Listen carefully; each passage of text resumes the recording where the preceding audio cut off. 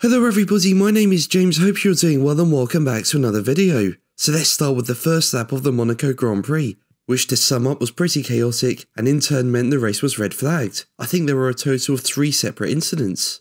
One of which saw Carlos Sainz get a puncture. This happened due to some slight contact with Oscar Piastri in the first corner, and it was really unlucky for Sainz I think.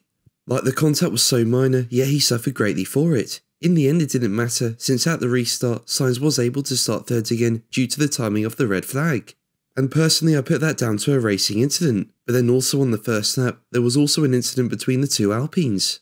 Basically, they were going side by side just before the tunnel after Esteban Ocon sent it down the inside at Portier, but the two came together and Ocon got sent flying into the air. Now, in my view, this was more of Ocon's fault, since I think Gasly was leaving room, and Ocon got a 10 second penalty which has been converted to a 5 place grid penalty since the crash left Ocon out of the race. Now following this, Ocon said on X, Today's incident was my fault, the gap was too small in the end and I apologise to the team on this one, hoping for a deserved points finish for the team today. But Ocon could be in trouble with Alpine team principal Bruno Famin, with him having some harsh words for Ocon and warning of a tough decision. He told a French TV channel, It's sad to see this kind of incident. It's exactly what we didn't want to see. Esteban's attack was totally out of circumstances. It was exactly what we didn't want to see, and we're going to draw the consequences. We're going to make a tough decision.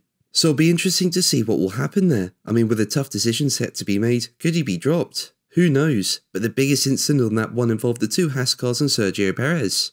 Now, as they were heading up the hill following turn 1, Kevin Magnussen attempted to go up the inside of the Red Bull on the way up the hill, but with space running out, the pair made contact and it caused a huge crash between them and Nico Hulkenberg was just in the wrong place at the wrong time, with him also being caught up in the incident. So a massive crash there, and it really wrecked Perez's car. Personally, I think Magnussen should have backed off, as the racing line sees you move left to right between the barriers, and as Sergio was on the line, Magnussen was driving into a disappearing gap, I think.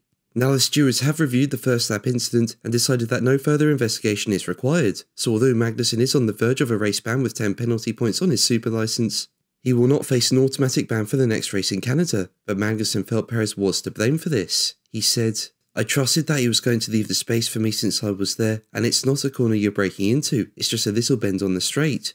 You have to have a car width, or you leave the guy with no option. It's unfortunate. It's a lot of cost to the team and a lot of work for the guys and a missed opportunity, but from my view, I was there and was squeezed into the wall. But that's going to be the video from me today. Thank you ever so much for watching. Make sure to like and subscribe for more videos, and until the next one, take care. Bye.